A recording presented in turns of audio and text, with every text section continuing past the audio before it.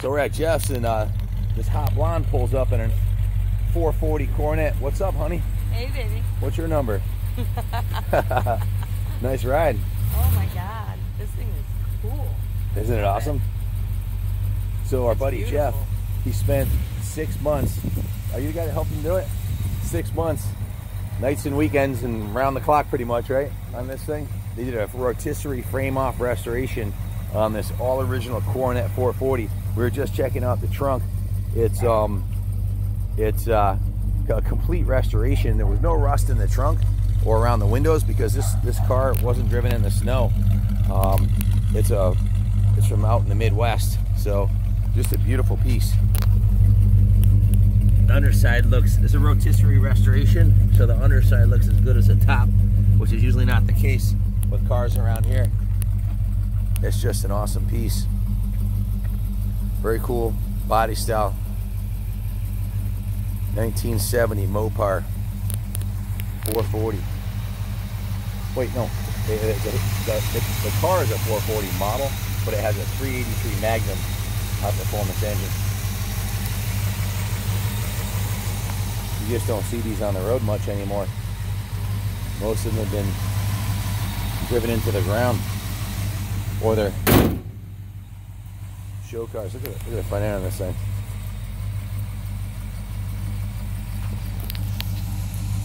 How is it comfy, babe? Oh my God, yeah. It's got a big trunk for grocery shopping too. Oh, I know. Definitely going using it.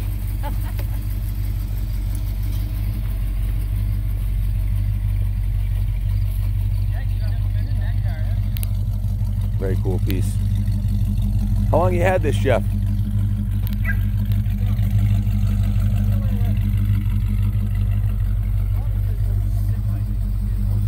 Oh seven, about twelve years.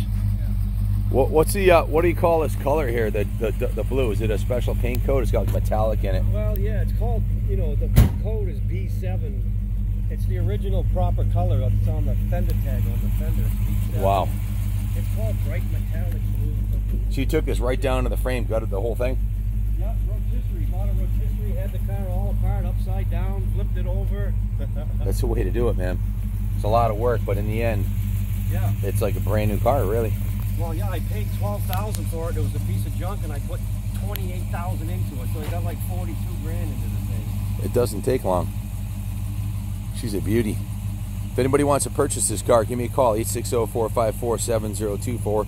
I'll hook you up and uh, he's got 42,000 plus a couple years of his life into it, so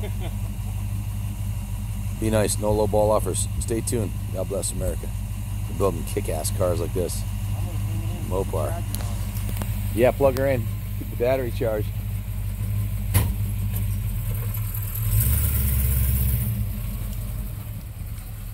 Richard rides like a Cadillac, big, big, heavy metal.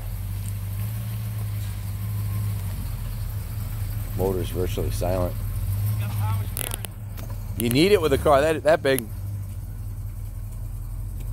Cool piece, huh?